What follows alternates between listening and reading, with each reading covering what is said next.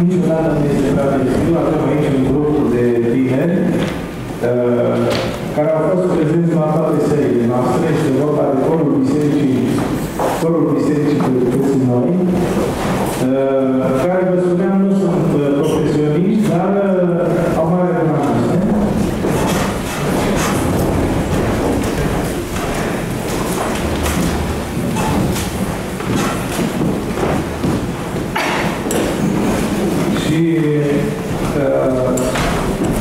prezența lor în aceste costume nu populare, ci naționale,